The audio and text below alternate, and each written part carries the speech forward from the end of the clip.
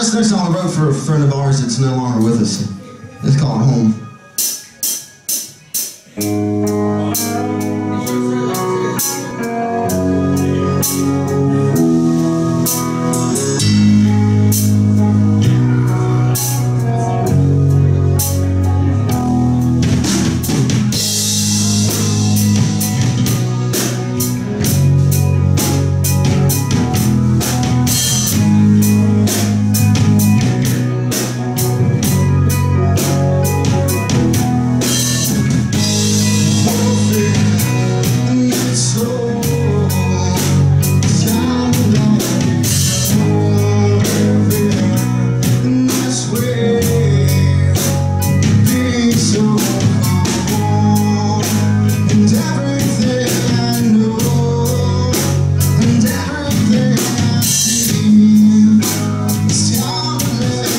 true